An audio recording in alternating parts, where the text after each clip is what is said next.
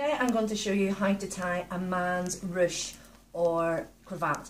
So just put, putting the collar up, placing the tie around the back of the neck and just positioning it so that where the cravat starts to get wider is probably about two, three inches below the neck. And then what you're going to do is pass the wider end over the top of the narrower part of the tie, bringing it round the back and flicking it over the front. Then take the wide part and put it up underneath the chin. You've still got hold of this in your left hand. And then we're, what we're going to do is we're going to put this wide bit down through and pull that down. Now, just a case of tidying up the look of the knot.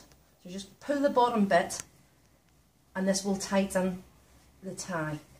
And then we're just going to shape this so that it looks nice and making sure that the tie itself is sitting nicely.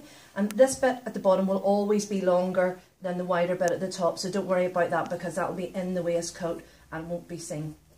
And can just adjusting to make it look nice. And then just pop your collars down. And that's it, how to tie a ruche or cravat.